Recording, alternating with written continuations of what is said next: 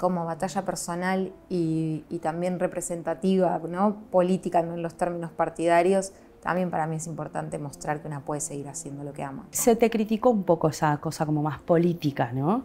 También, bueno, entonces se politizó, se... ¿cómo lo Pero Porque le jode que una, que una víctima te piense, es como una cosa insólita. Em, de hecho, yo nunca dije como, esta es mi ideología partidaria. Lo que sí hago cuando uno me escucha hablar es que claramente tengo lineamientos que, sí, por supuesto, si me escuchas a mí y escuchas a Amalia Granata, evidentemente yo no voy a votar eh, a, a lo que representa Amalia Granata.